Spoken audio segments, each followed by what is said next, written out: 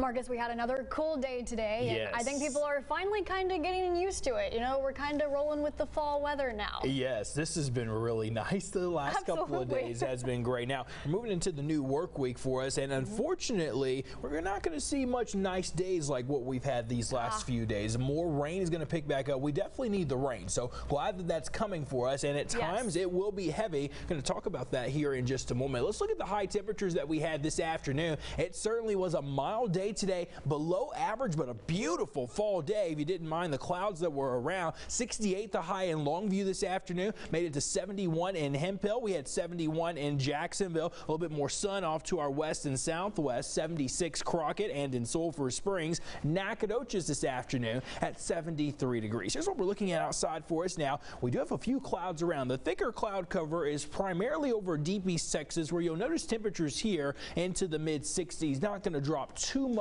more through the overnight. Now, where skies are mostly clear, upper 50s, even some mid and lower 50s, like 54 in Mineola, 55 in Mount Pleasant. Gilmer, you're at 56. Henderson at a temperature of 57. No precipitation in the area right now, but I do expect some to move in later on tonight and going into tomorrow morning.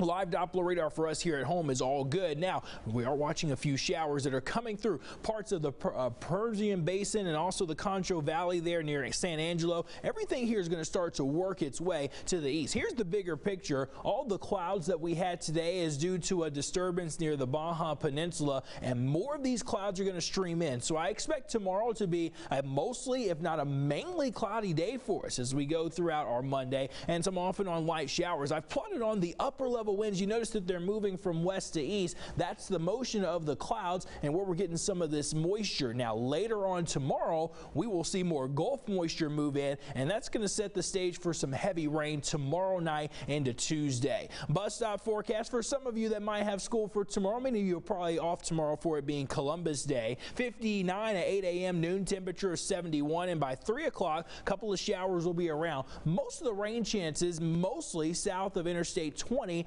during the day, but by tomorrow night it increases, especially for central and northern areas. So here's Futurecast showing most of that light rain over I-20 and points to the south. But watch what happens as we get into Monday night going into Tuesday. We're looking at some rounds of heavier rainfall to set up across East Texas, and when this rain starts, it might not let up for a little while. This is 1 a.m. Central and northern areas, especially getting in on some of this heavier rain. There's 3 a.m. We're looking at some pretty heavy showers, even some thunderstorms coming in. I don't expect any of this to be severe, though. There's no front in the area just yet. 7 a.m. on Tuesday morning, still looking at some rainfall coming through. There's 10 a.m. We'll get a break and some off and on showers will be with us. And then here comes the cold front as we get into Tuesday evening and Tuesday night. We'll see a few more showers and thunderstorms. For right now, I think we stay with a lot of clouds on Tuesday, so that's going to limit any severe potential. But any type of break in the cloud cover and some sunshine